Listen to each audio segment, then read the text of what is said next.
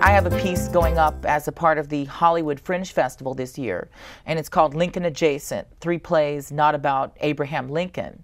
So now I've gotten really fancy about this non traditional history okay. thing. And it's a series of three pieces about figures that are on the periphery of Lincoln's, the mythology of Abraham Lincoln. And the two pieces that I contributed, one of them is about Elizabeth Keckley, who was Mary Todd Lincoln's seamstress and confidant when she was in the White House. Right. And the other one is about John Wilkes Booth. And we know about Booth, but we don't know my version of Booth.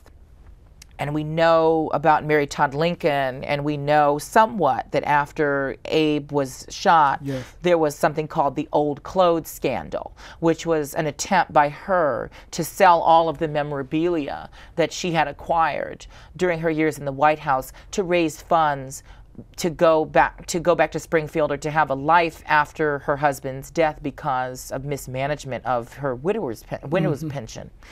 And Elizabeth Keckley was one of the cultural architects who helped her build her image. Keckley was a slave in Dinwiddie County, Virginia, who um, bought her freedom and her son's freedoms through working on, on the, the dressmaking circuit in St. Louis, Missouri. She later moved to Baltimore and then to D.C. and worked as a seamstress to the elite, the well to do. And she carved a name for herself as a society matron because she was also doing abolitionist work and philanthropy work um, during the war.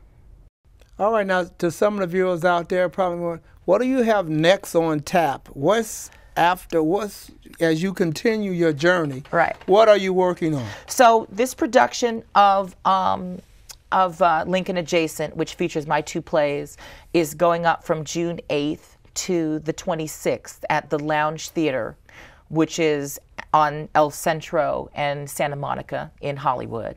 And to the young viewers out there, look at that camera and tell them why theater is so important. Theater is important because you're important.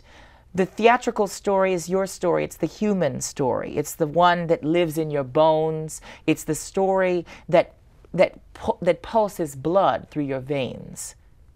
It makes your spirit glow every morning that you're blessed to be alive. And it's the spirit that puts you and lulls you to sleep at night. It is life. It's the theater.